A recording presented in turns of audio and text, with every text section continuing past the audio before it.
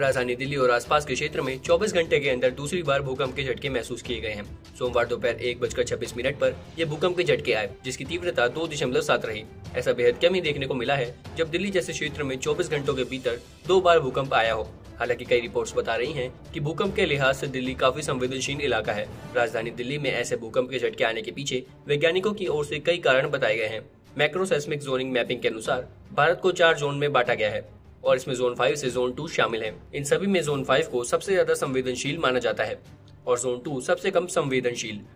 यानी zone five ऐसा क्षेत्र है जहाँ भूकंप आने की आशंका सबसे ज़्यादा है और जोन टू ऐसा क्षेत्र है जहाँ भूकंप आने की आशंका सबसे कम होती है।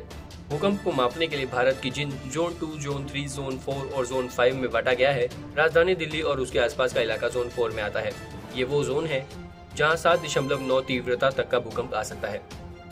ऐसे ही और भी कई खबरों को सबसे पहले पाने के लिए बने रहे हमारे साथ। सब्सक्राइब करें हमारे चैनल ऐसे ही लेटेस्ट और इंटरेस्टिंग न्यूज़ के लिए।